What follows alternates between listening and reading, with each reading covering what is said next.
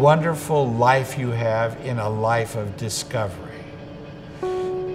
The obligation and responsibility that if you made a discovery, you think about how to make it useful for people. That's what I'm driven by.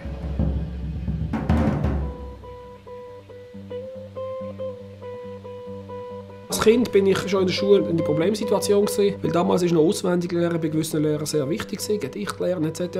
Verstehen muss man es nicht, ist egal. Einfach aufsagen können, gibt es eine gute Note und wenn man schlecht aufsagt, gibt es eine schlechte Note. Ich habe eigentlich immer das Wissen begriffen.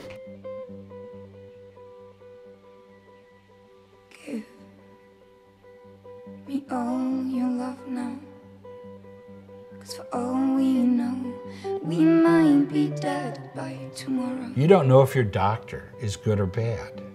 You don't know if your doctor is making a mistake. There is nobody who's checking on what your doctor does unless you die of it. I can't go on wasting my time.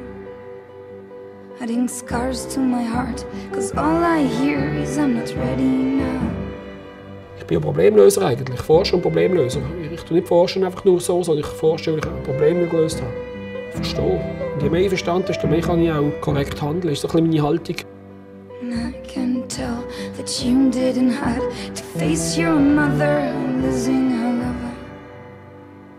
Without saying goodbye. Without saying goodbye.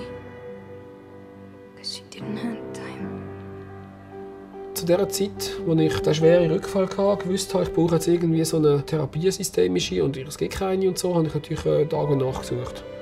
Und dann habe ich irgendwann auf die Website von Tom gekommen.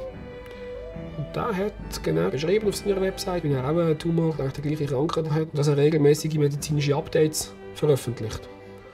Und ich fand das noch spannend. Dann habe ich mir mal eine Mail geschickt. Und dann hat er gesagt, ja, Con, kennst du Content? Du solltest im Fall nicht reinkommen, es hat so eine Trial-Ecke, wo alles um wissenschaftliches Zeugs geht. Und du bist ja selber auch Mediziningenieur, eigentlich willst du wunderbar dort reinpassen, weil jetzt gerade, erst frisch, haben wir eigentlich so Trial-Gruppen aufgetan. Jeder, der selber in der Studie hockt, tut sich real-time austauschen. Und habe ich gefunden, das ist interessant, real-time austauschen. Da hocken Leute in einer Studie, wo die Firma erst in, in anderthalb Jahren oder was veröffentlicht, das Resultat. Und die sagen real-time sagen, heute habe ich das und das Medi Aero 688 sowieso bekommen.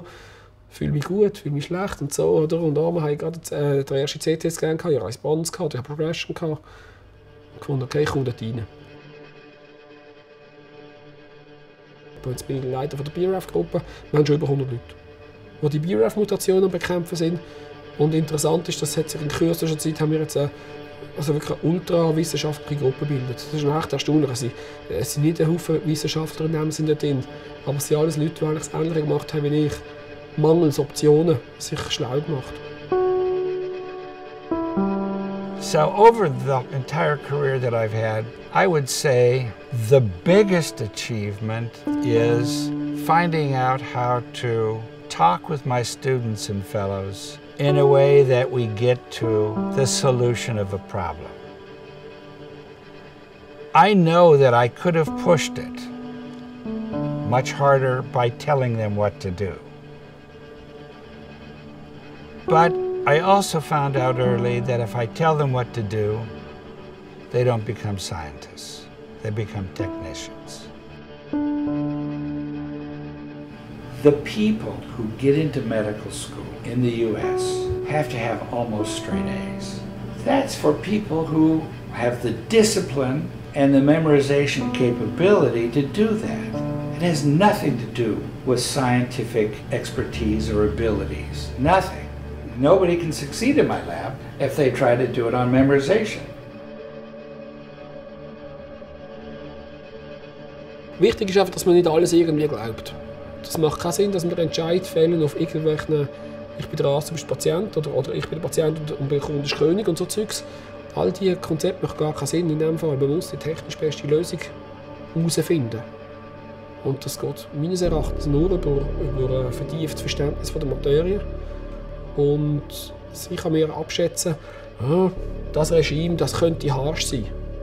Und uh, die beiden Drogen, die miteinander gibt, ist das Risiko, dass es zum Beispiel eine Lebervergiftung gibt. Solche Sachen kann sie abschätzen, weil sie halt in 20 Jahren noch mehr klinische Erfahrung hat. Das kann ich nicht, ich bin Ingenieur. Ich, ich, ich kann mich mit Mechanismen umschlagen, und irgendwelche Moleküle und so Zeugs. Und dann sehe ich, jawohl, das ist wunderbar, die Moleküle die scheinen zu wirken.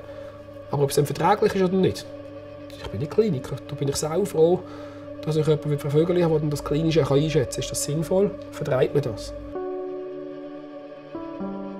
When I graduated, like all of the other medical students, I took the Hippocratic Oath. First, do no harm. Second, you are responsible for the life of the patient. Therefore, you must do everything in your power to find the right treatment for the patient. And you cannot let your personal financial issues, your personal feeling about people above other racial or ethnic groups or economic groups or any of that get in the way. And I realized that that applied not only to somebody who was going to be a doctor, but that applied to me in pursuing research.